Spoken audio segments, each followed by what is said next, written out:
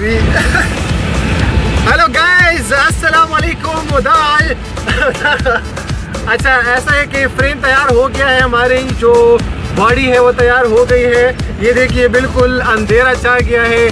दो दिन से हम लगे हुए थे वहाँ पे, हम, हमने काफ़ी सारा जो है वो काम किया है। और ये अनवर ड्राइवर साहब जो है, वो भी काफ़ी ज़्यादा थके हुए हैं। और ये गाड़ी बंद।